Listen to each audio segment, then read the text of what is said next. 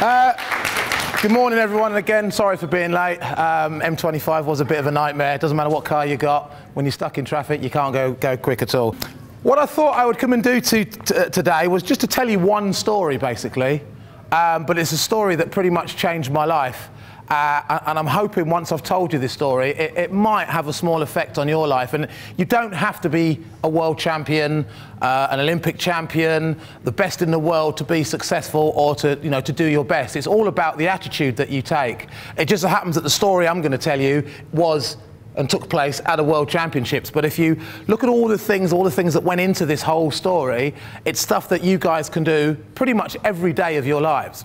Anyway, the story starts a long time ago, back in 1991. You weren't even born. Um, but I was, uh, I was born, obviously, and I was competing for Great Britain at the World Championships. Uh, and the World Championships were taking place in Tokyo. And I was in two events. I was in the individual 400 metres, where I was expected to make the final and battle it out for the medal. That's what the form book said. Uh, he'll make the final and he'll have a good battle for a medal. Don't know what he'll win, but he should battle it out and win a medal. But in the relay, which is the second event I was in, the 4x400 metre relay, in the relay event, me and the rest of the relay squad, we wasn't only expected to make the final, we was expected to win the silver medal. The favourites for the race was the Americans. The Americans have been unbeaten in the men's 4x400 metres relay event at world and Olympic level for 57 years. Never been beaten. They've won every World Championships and they've won every Olympic Games for 57 years. So they were the odds-on favourites to win the gold medal. Great Britain, we had the second fastest time in history, the second fastest time in the world. We was expected to win the silver medal. Now that team consisted, that relay squad for Great Britain consisted of six athletes. Myself, Chris Akabusi, Roger Black, John Regis, Ade Mafe and Mark Richardson. We were the six guys that had the job of trying to come home with a gold medal. But before we can get our hands on that gold medal, we've, we've basically got two hurdles to get through. Hurdle number one is we've got to qualify from the heats into the final. Hurdle number two, assuming we make the final, we've got to win it, obviously.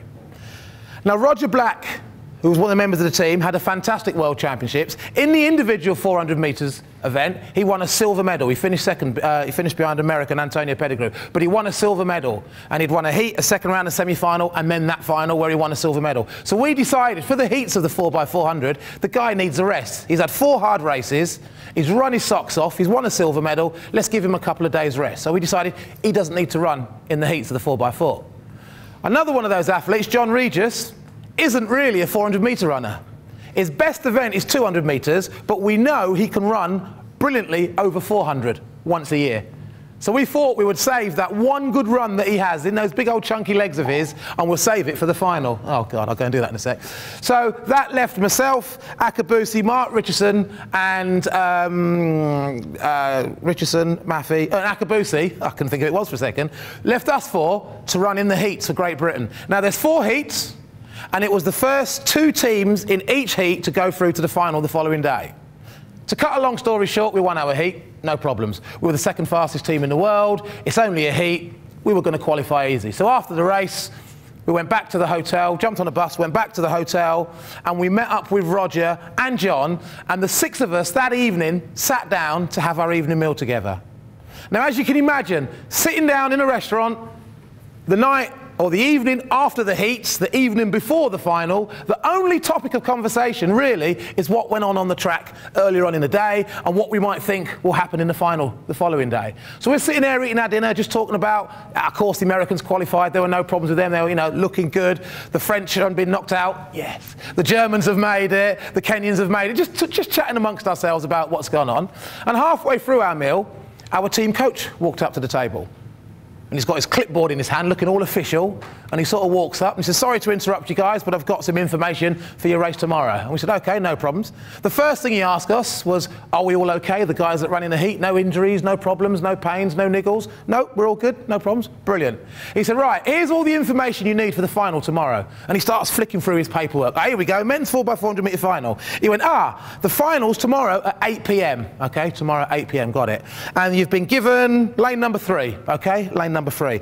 And the order's going to be, here we go, Redmond, you'll run the first leg, Akabusi, you'll run the second leg, uh, Big John, you, you'll run the third leg, and Roger, you'll run the fourth leg. Good luck, guys. Make sure you get plenty of sleep. And with that, He done one, disappeared. And we pretty much knew that the four guys in the final was going to be me, Chris, John, and Roger. Why? We're the four fastest in the country. And it's a final, you put your fastest guys out. We also knew that the order of those four was going to be me on the first leg, followed by Chris, followed by John, followed by Roger. One of the questions that I get asked a lot is how do you know what order to put people in? How do you work out who runs first, second, third, or fourth? Well, it's very simple. At world and Olympic level, it's no different from when you run relays at school. Stick your hands up if you've ever run a relay at school. Shout out where you normally put your fastest man. Last, exactly. Roger Black is the fastest man in the country. He's going last. Shout out again where you put your second fastest man. First, exactly. I was the second fastest man in the country, so I'm going first. And the other two, you just chuck them in the middle.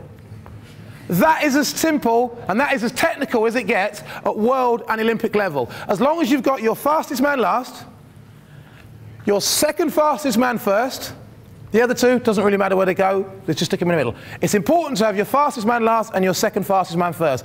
That tactically is the way to do it. So that's the order, me to Chris to John to Roger, no surprises. We decided to go to bed, get an early night. Roger and Chris were sharing one room. Ade Mafe and Mark Richardson were sharing another room, and that left me with the short straw, because I've got to share a room with John Regis. Now, if you wonder why is that the short straw, it's because Big John snores. And that might not sound bad to you lot, but he normally snores out of both ends of it. No, I won't go there. I won't even go there.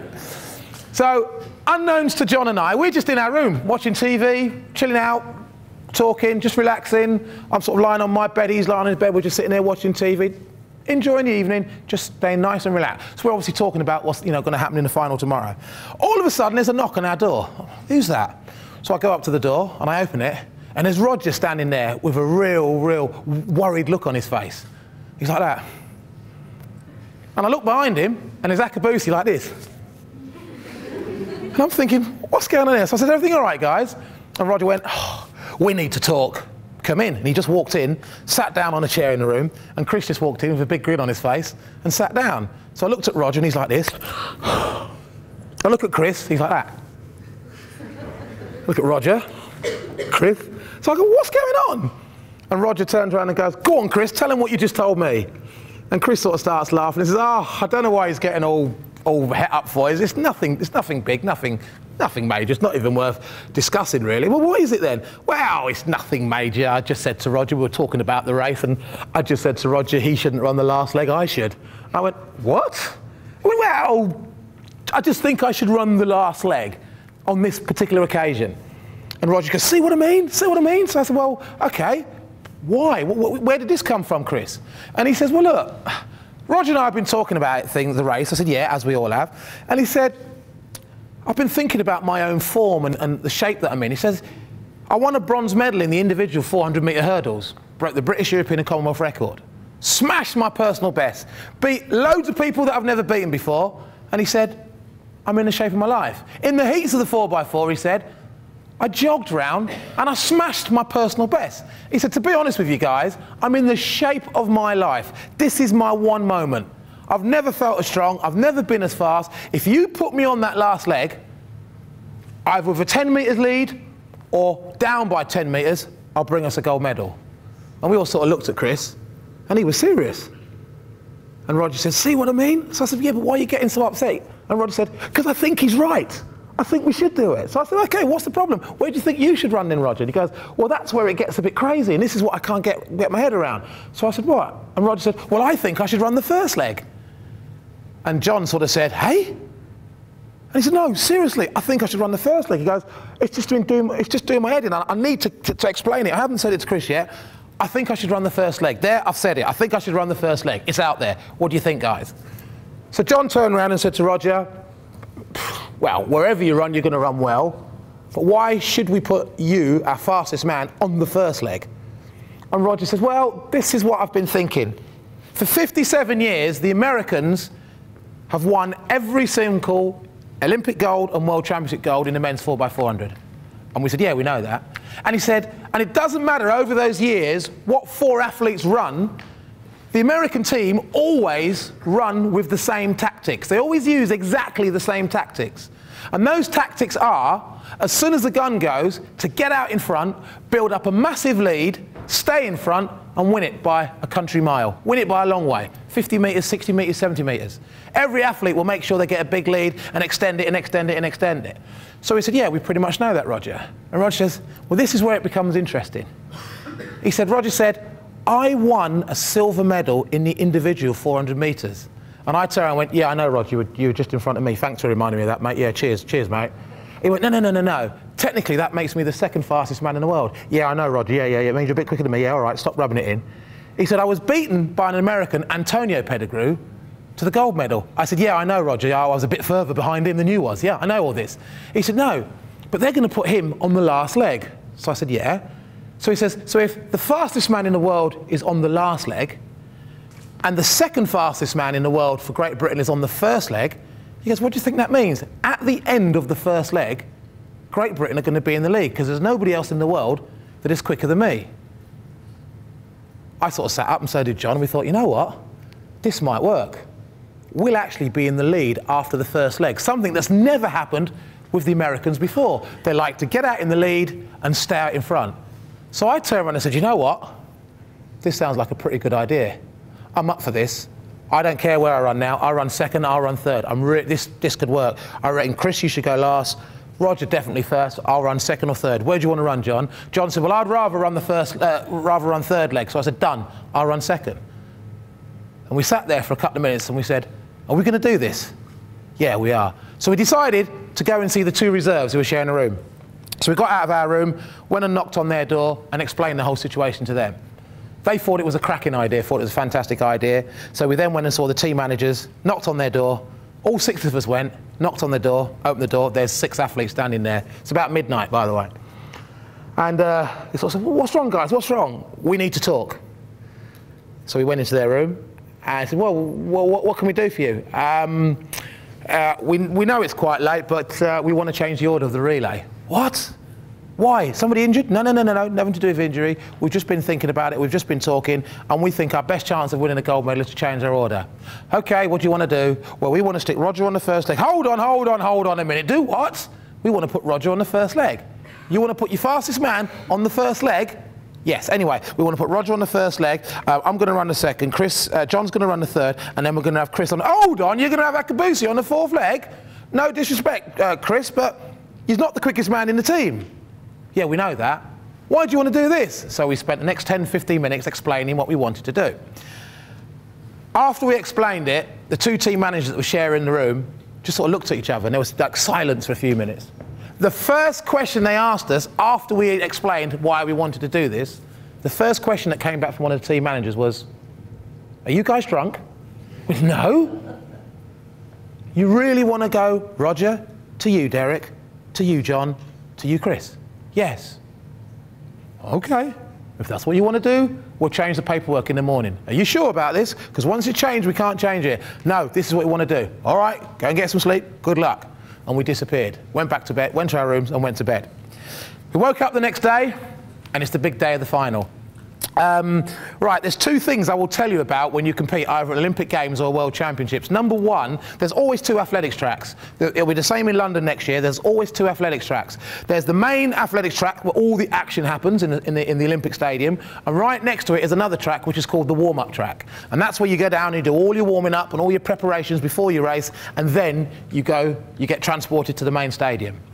The second thing, again, if you compete uh, uh, World Championships or Olympic Games, you obviously have to warm up and get you, prepare yourself for the race.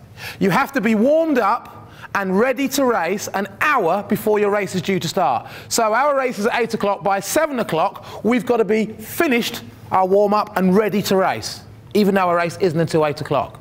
So all of us went down to the warm up track. We did our warm up. I'm not going to bore you with all the warming up, but by about 5 to 7, I don't know, 10 to 7, 5 to 7, we're all warmed up. We're just sitting there or standing around, drinking some water, staying nice and cool, just doing a little bit of limbering, making sure everything's nice and loose. Our coach came up to us and said, All right, are you all okay? Yeah, everything all right? We said, Yes, we're good to go. And then bang on seven o'clock, you hear this announcement. And this announcement is asking all the teams in the men's 4x400 metres relay event, please make your way to tent A. And in the middle of the warm up track are two tents, tent A and tent B. It's now seven o'clock, one hour before the biggest race of your life. Physically, if you're not in shape at seven o'clock, you ain't going to be in shape by eight o'clock. There's no extra training that you can do. You can't go for a run to make yourself stronger, get a bit more stamina. You can't go to the gym to lift a load more weights. That's it. Whatever shape you're in at seven o'clock, that's the shape you're going to be in at eight o'clock. So physically, there's nothing you can do to change your shape. But mentally, if you're not quite in shape mentally at 8 o'clock, at 7 o'clock, sorry, you've still got an hour to get yourself in shape by 8 o'clock. What do I mean by mentally? What I mean by that is if you're not quite focused, if you're not quite concentrating, if you're maybe lacking a little bit of confidence, you've got an hour to psych yourself up, to get yourself focused, to get that confidence before you compete at 8 o'clock, and it can be done. But the flip side to that is, if at seven o'clock you are focused and you are confident and you've got all the confidence you need and your, your, your mind's in gear, you're in the zone and all that sort of stuff at seven o'clock, you can kind of lose it by eight o'clock. So what I'm saying to you is an hour to go before any final, it's not a physical thing, it's 100% a mental thing. So having been in that situation before, the British team, after this announcement, asked us to go to tent A, was uh, just been announced. We decided we're not going to go to that tent at 7 o'clock. We're going to start playing our mind games with all the other athletes, all the other teams, and we're going to turn up at about 10 past 7. We're going to make them think we're not running. Let them start thinking about us. Let them wait for us. So we just stood around for 10 minutes, sort of shaking our legs, drinking water, keeping nice and loose and all this sort of stuff, and just going, come on, guys, this is ours. This is ours this time. And about seven, eight minutes past uh, eight, uh, seven, our coach said, right, come on, guys, it's nearly 10 past, off you go. So we shook all the coaches and the reserves' hands. We said, right, good luck, guys. And the four of us started to walk to the middle of the track. Now, at this point, the old butterflies start to get going and the old heartbeat's going. You tend to sweat a bit more, your palms get sweaty because you're nervous, but you don't want to show the opposition that you're nervous. So, as we're walking towards this tent, your game face goes on. You start, you take away the, the smiles and stuff. You're now looking serious and you put your game face on. And by the time we got to the tent, there was an official on the outside. All four of us had got our, our, our game faces on. The official asked which team here. We said Great Britain. He goes, right, come on, you guys are late. Ticks, up, ticks us off, and we walk into the tent. The tent is possibly half the size of this stage area. No, not even half the size. Maybe from the edge there to here. It's just a small tent. And in there are a load of chairs and a table like this. As we walked into this little tent, we were the last team to, to report for the race. So all eyes turned around as we walked in, and we just walked in to the tent. All the athletes are now staring at us. Now, I said you're trying to psych the athletes out. And this is exactly what happens. You've got your game face on. You walk into that tent, all the athletes will look at you. So, what you do is you pick on one athlete and you stare at them. You stare at them like you hate them. So I've got, I had some headphones on, I listened to the music, and I've got my bag, and I've walked in, and I'm just saying, I've got a bit of chewing gum in my mouth, and we've walked in the tent, and I've had my eyes closed, and then all of a sudden, one athlete uh, is looking at me, so I just do this. and we get told to sit down. You don't do this and walk up to your chair and sit down. No, no, no, no, no, no. You're trying to get into their heads, so you do this.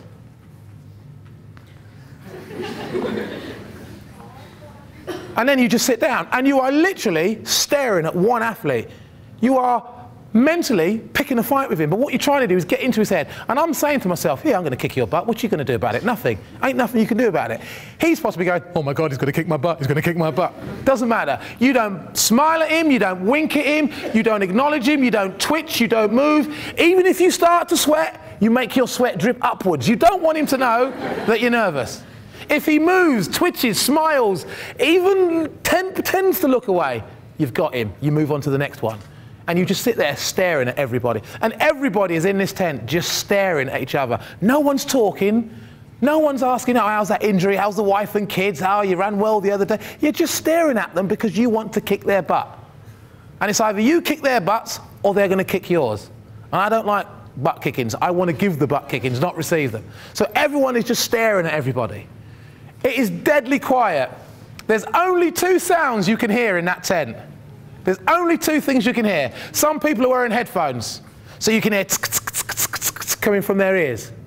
The other sound you can hear is because there are a few nervous people in that tent, believe you me. and it don't smell too good either, I tell you, it don't smell too good. So this goes on for, I don't know, what seems an age. It's only about five minutes. And then what interrupts it is a couple of officials come in. And the reason you have to be warmed up for the best part of an hour before is because you have to go through a whole series of checks. So what they do is they ask the team who's running in lane number one to come up to the table. You stand on this side of the table with your kit bag on the table. There's a couple of officials there. And they go through a series of checks. The first thing they do is they ask you to take your tracksuit and your t-shirt off to display your vest or the top half of your skin suit, of your running suit. And they then make sure you've got the correct suit on. They give you your numbers, which you pin on. And in a relay, it's different from a normal event because rather than having a number on the front and a number on the back, you have your country's initials on the front. So Great Britain, GBR, America, USA, Germany, GER, Jamaica, JAM, so on and so on. So they give you your, your, your, your, they call them numbers, bibs if you like, and you get a pin. You pin one on each corner. They then give you a separate number that goes on the back. You pin that on the back. You then get a lane number. We was in lane five or whatever we we're in. Um, no, lane three, sorry. So I think it was lane three. Um, we have lane, we have little number threes which you stick on the side of your shorts for the photo finish, just in case it's a close race. They then check your bags, just for security reasons. They also check your running spikes to make sure they're the, the, correct, the correct length and they're not classed as illegal spikes, being too long and all that sort of stuff. So by the time they've done that for one team and get through all eight teams, it takes a little while, best part of half an hour. Half an hour passes, it's now about quarter to eight. We're still stuck in a warm-up tent that stinks and the race is in 15 minutes. So we come out of the tent, we're put on a little uh, on a coach, and it drives us less than half a mile to the main stadium. We get off the bus, and uh, we're met by two more um, uh, officials, and they escort us into the stadium through a load of doors and tunnels, and we end up at this massive tunnel that takes you onto the track, onto the, near the start finish line. And just before we get onto the track, we get told to sit down and put our spikes on. So we all sit down, there's a load of benches, we sit down, trainers off, spikes on. We put our spikes on, then we all go onto the track and do a couple of little runs just to make sure we haven't tightened up or anything like that. Then the track referee comes in and he tells, uh, shouts out, first leg runners, go and put your starting blocks down. Everyone in the world is expecting me to walk out. Roger picks his tape measure up, walks out onto the track and sets up his starting blocks. Comes back in, Few people have noticed it. Doesn't really matter, nothing they can do about it. He comes back in, puts his tape measure in. I'm just sort of in the tunnel, running up and down, just keeping nice and loose, just trying to get my head in gear, just thinking those last couple of minutes. Then all of a sudden, one of the track referee comes in and blows, gives a massive blast on a whistle. And that basically means there's one minute to go. So with that minute to go, people start to get a bit nervous, take a bit more water on. Some people start to take their tracksuits off just to tightening their spikes, just making sure that the laces are all tucked in and all done up properly, checking everything, making sure your numbers are stuck on. Then another whistle goes with 30 seconds to go. At this point, the four of us got together. We all sort of had a huddle. Goes, come on, guys, this is ours. Let's go and kick some Yankee butt. So no Americans in here, there, by the way? Um, um, so he goes, come on, let's go and do it. So Roger says, yeah, come on, guys, this is ours, this is ours. And he's all pumped up and psyched up. So he takes his tracksuit off, slams it on his bag, and he walks out into the track and stands behind the blocks in his lane. And he's there, like that, just really, really getting really psyched up and he's ready to go. And I'm pretty much the same. So I take my tracksuit off and I go and walk into the infield of the track because I'm going to run the second leg. So we're all doing